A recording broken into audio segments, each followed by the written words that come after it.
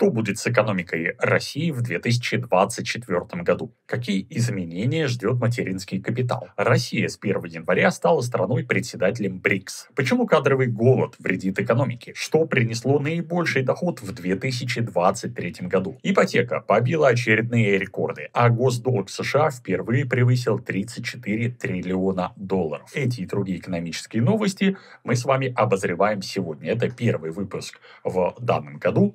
Всех поздравляю с уже наступившим Новым годом. Настала пора заделывать финансовые дыры, которые нанесло нам празднование Нового года, поэтому возвращаемся к вопросам экономики и финансов. И короткий анонс. Каждый год в январе я провожу марафон экстремального тайм-менеджмента «Пятилетка за два года». Уже 15 лет. Для того, чтобы разогнаться, включиться по полной, реализовать большое количество дел. И если вопрос личной эффективности для вас актуален, то присоединяйтесь. Марафон бесплатный, а будет проходить в телеграм-канале. Ссылка будет под этим видео. Все, кому актуально, жду вас. И давайте начнем с графиков. Мосбиржа в последнее время в зимней спячке фактически уже с апреля, причем спят не только медведи, но и быки, и э, чуть-чуть вверх, чуть-чуть вниз, но никаких сильных изменений нет. Можно сказать, что боковой тренд идет вот уже около полугода. Америка несколько приопустилась. Доллар США также в боковом тренде в текущий момент около 91 рубля. И биткоин также взял новую вершину в районе 43, 44, 45 тысяч долларов, чуть-чуть вверх,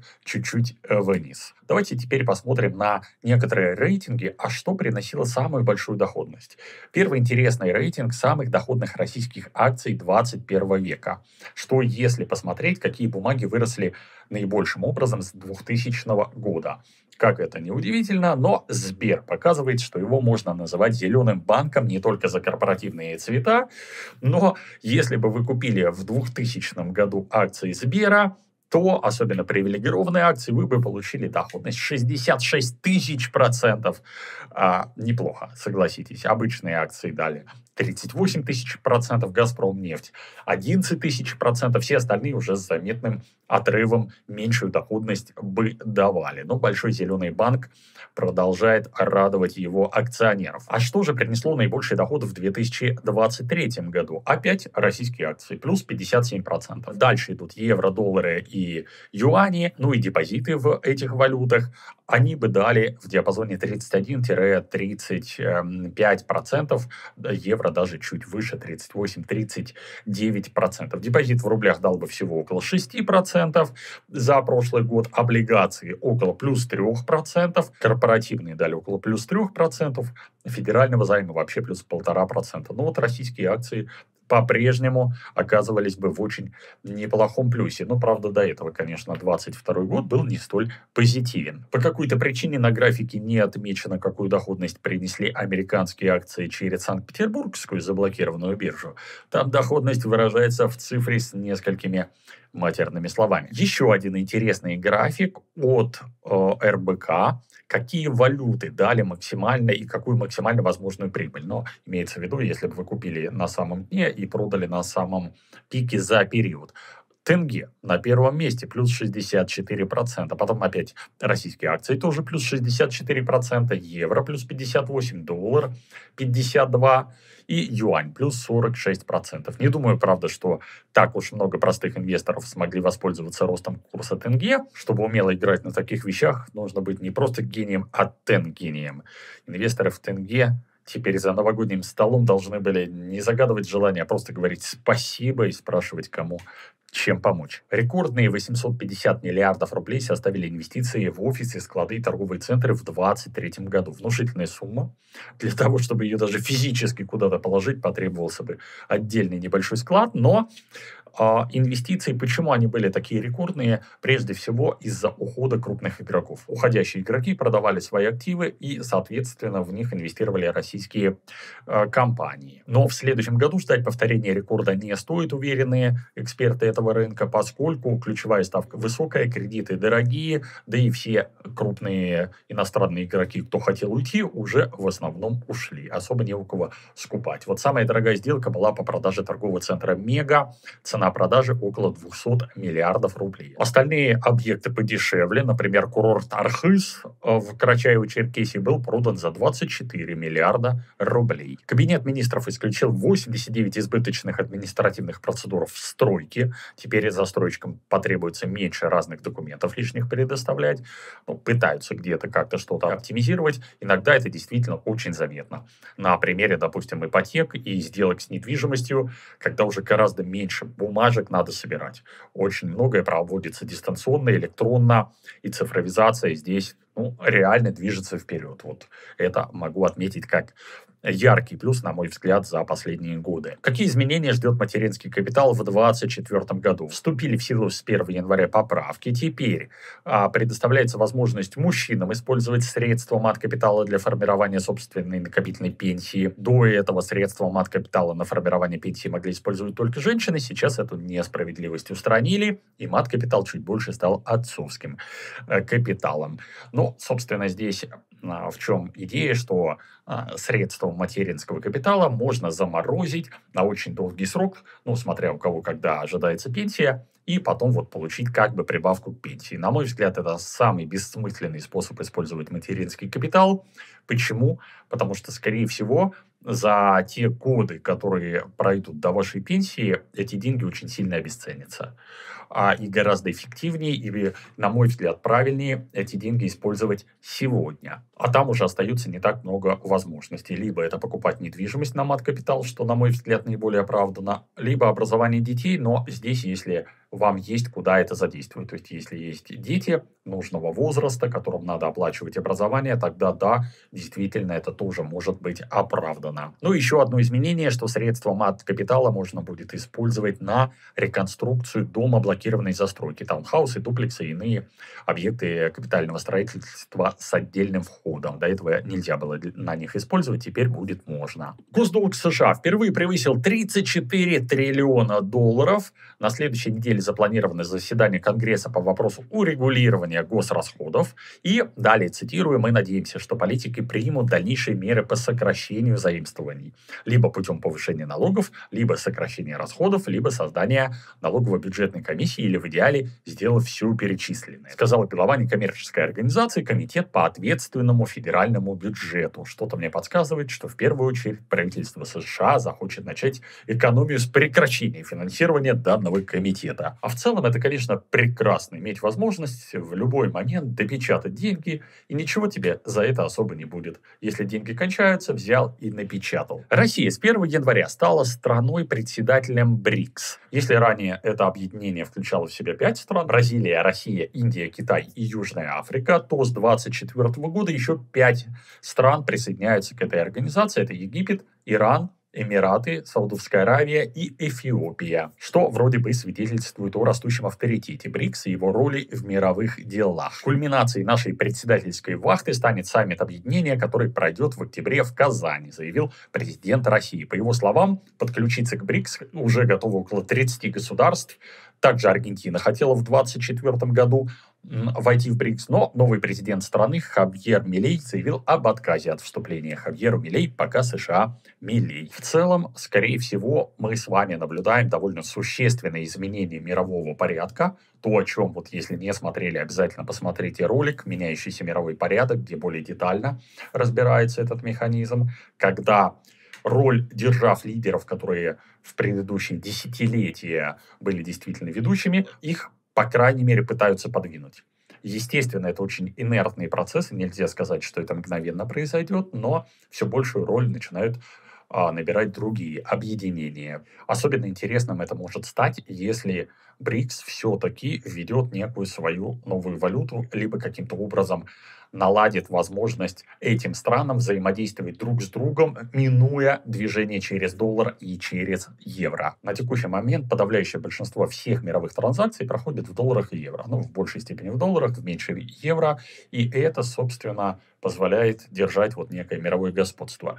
Чем меньше транзакций будет происходить в этих валютах, тем меньше будет роль доллара и меньше влияние, соответственно, страны, которая за этими валютами стоит долларом и евро. Ипотека побила рекорд в 2023 году, на 23% больше ее выдали, чем в 2021 году. Тогда а, банки за весь год выдали 5,7 триллионов, а в 2023 году за 11 месяцев, без учета декабря, уже 7 триллионов рублей. Прежде всего, за счет, конечно, драйвера в виде льготной ипотеки. Люди очень активно ее использовали, и, скорее всего, сейчас до середины 2024 года, пока еще некие льготные ипотеки действуют, люди будут стремиться их захватить смотря на ставки по нельготным ипотекам, которые в несколько раз выше сегодня уже становятся. А для тех, кто ищет новые возможности для эффективного инвестирования своих денег, рекомендую подписаться на канал «Инвест Возможности». Ссылка на него будет под этим видео. Почему кадровый голод вредит экономике?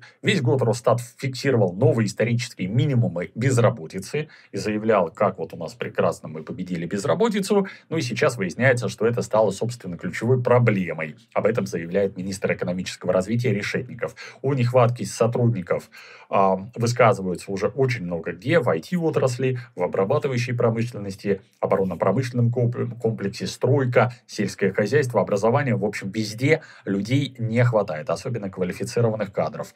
Пытаются думать, что же с этим делать. Первая идея – это вовлечение незадействованных категорий граждан, молодежи, матерей в декрете, пенсионеров каким-то образом. И отсюда можно получить около 1 миллиона трудоспособного населения дополнительно, теоретически.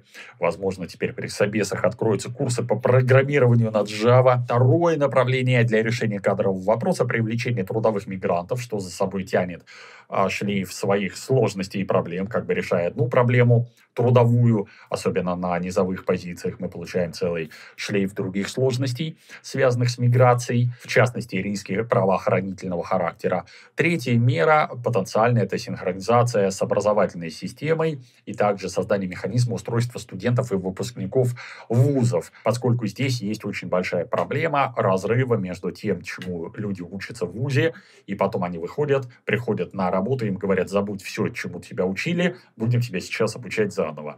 Либо человек вообще, как это происходит в очень большом количестве случаев, я как вот преподаватель вуза с этим знаком не понаслышке, люди обучаются одному, затем идут работать совершенно не по специальности. Не то, что это э, плохо для конкретного человека, но для экономики в целом это, конечно, высокая неэффективность. Просто представьте здесь размер неэффективности, когда человека 4 или 6 лет – обучают чему-либо, и оказывается, что все эти 4 или 6 лет его обучали зря. Мало того, что заново надо чему-то учить, так еще и эти 4-6 лет а, потеряны в плане трудового возраста. Как египтяне относятся к российским автомобилям? Такой удивительный вопрос. Торговый представитель России в Египте заявил, что продукция отечественного машиностроения имеет преимущество по соотношению цена-качество и пользуется уважением в Египте. Надеюсь, не по принципу, что если российских машин боятся, значит уважают.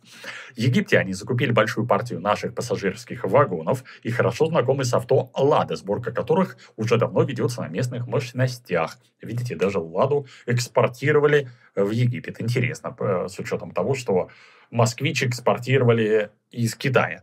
И собираемый «Москвич», он собирается практически полностью из китайских комплектующих. А вот Минпромторг а, докладывает, что продажи новых авто в России выросли на 60% к 2023 году. Все больше и больше а, а, машин производится у нас, но в большой степени, опять же, на примере «Москвича» и многих других сборок авто, это именно сборка локальная. То есть большая часть комплектующих это зарубежная. Нельзя сказать, что это плохо, скорее все-таки это некий плюс, что хотя бы часть добавленной стоимости производится, создается внутри страны. Ну и плюс это, конечно, рабочие места, люди, которые а, могут трудиться на этих заводах и зарабатывать себе деньги. Что будет с экономикой России в 2024 году? Новый консенсус, прогноз экономистов показывает, что рост замедлится вдвое, будет рост примерно 1,6% в сравнении с ожидаемыми 3,5% в 2023 прошлом году. Но здесь отмечу следующее, что и год назад если бы мы смотрели прогнозы на 23 год, они были не то что положительные, они были вообще отрицательные. А в результате получилось плюс 3,5%. Поэтому нельзя исключать, что и в этом году будет тоже некий рост, но, однако, шансы на это уже намного меньше. Во-первых, нет эффекта низкой базы, то есть восстановления после просадки.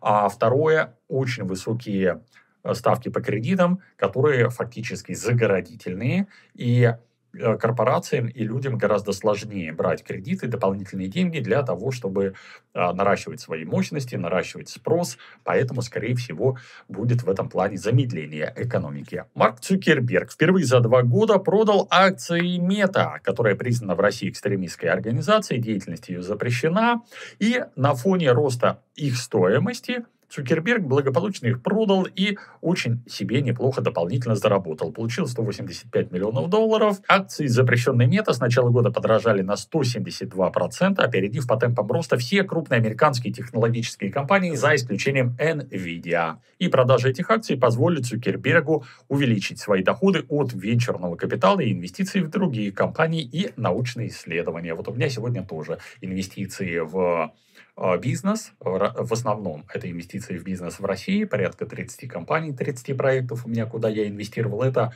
одно из основных направлений. В текущий момент, когда а, недвижимость становится гораздо менее привлекательной из-за очень высоких ставок по ипотекам и из-за высоких цен. Поэтому э, я переориентируюсь в большей степени сейчас на другие направления. При этом Цукербергу по-прежнему принадлежит около 13% э, компании, что составляет почти все его состояние в скромные 117 миллиардов долларов. Илон Маск назвал 24 год еще более безумным по сравнению с четырьмя предыдущими, поскольку 24 год должен стать историческим годом выборов, ознаменовав решающие испытания для, для демократии. Выборы пройдут в 70 странах, включая США, Индию, Мексику и Южную Африку. Кроме того, как вы помните, в марте 2024 года должны состояться выборы президента России, где интрига, как вы понимаете, крайне высока, конкуренция зашкаливает, и предсказать их результаты крайне сложно.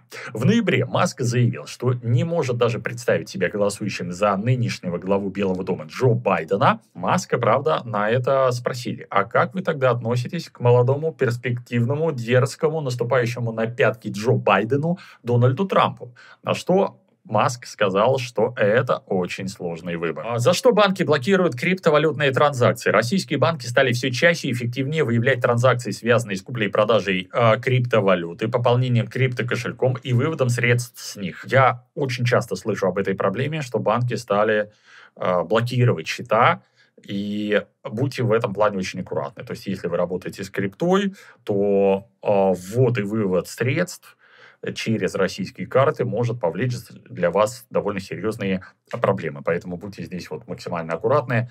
Напишите, пожалуйста, кстати, вот у кого есть такой опыт, кого блокировали, э, как это происходило, чтобы те, кто пока еще с этим не столкнулся, могли посмотреть на ваш опыт и предостеречь себя. Контейнерные перевозки из Азии в Европу подорожали вдвое из-за хуситов, поскольку теперь многие перевозчики вынуждены направлять свои контейнеровозы в Европу не через Суэцкий канал, а огибая Африку с юга. Но, как вы видите по карте, это ого-го какой крюк получается, и из-за этого очень сильно растут расходы, собственно, на транспортировку. И потенциально сейчас идет обсуждение, что если далее все так и а, продолжится, то цены на нефть могут ого-го как взлететь, что на руку будет, э, в частности, российским экспортерам, российским компаниям. А, возможно, это в некоторой степени поддержит э, курс рубля к доллару, по крайней мере, в ближайшее время. Ну, а дальше будем смотреть. Вот кто у нас в инвест-клубе «Финанс-1», я делал очень подробный обзор трендов на 2024 год, обязательно его посмотрите. И там прям детально по всем основным направлениям проходил, по курсу доллара, по ожиданиям в недвижимости, э, от рынка акций и другим направлениям. А здесь, смотря на карту, мы видим, что добрая надежда Южноафриканской Республики оправдалась, и через этот мыс теперь идут огромные торговые потоки. Друзья, если выпуск был для вас полезен, пожалуйста, поставьте лайк этому видео, нажмите на подписку. Буду благодарен за поддержку канала и напоминаю, что у нас 14 января через несколько дней стартует марафон экстремального тайм-менеджмента. Пятилетка за два года. Это бесплатное мероприятие для того, чтобы э, всем, кому актуально, разогнаться. Если участвовали в прошлые годы, напишите, пожалуйста, как это было для вас. Жду вас. Ссылка будет под этим видео.